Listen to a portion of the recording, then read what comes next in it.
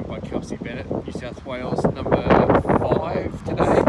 Well played, a four and three win over Georgia Shears. That's got to feel pretty good in the final. Yeah, really good. Happy to finish strong. Tough conditions out here, mate. It's brutal. We're huddled, huddled under a tree just to get out of the wind and the rain. It's freezing. Um, tell us, tell us a bit about the match. You, you, you weren't sort of at your best early, but you really shone when it mattered the most. yeah, I think I was a little nervous at the start, but um, picked up towards the end. Just was a bit shaky. He wasn't striking him overly great, but um, yeah, got back, so it was good. You've come a long way in a, in a relatively short space of time. Mollymook all the way up to St Michael's, I believe. Yes, yeah, And you just made yourself at home in Sydney and you're kicking goals here. That's got to feel good too. yeah, really, really good. Really good to represent both clubs. So You still proud of your Mollymook roots there? Do you get back home much? yeah, definitely. I get back home as much as I can. It's um, pretty tough, you know, traveling three hours back and forth. But uh, yeah, I managed to go back because all families down there, so I go back when I can. Yeah. But you've made a great group of mates. at The New South Wales High Performance crew is pretty special, isn't it? Yeah, yeah, really, really good. They're great girls, so it's good. This is starting to shape up pretty well. I know you can't celebrate fully yet, but it's looking pretty good for you Blues. Yes, hopefully we can finish good.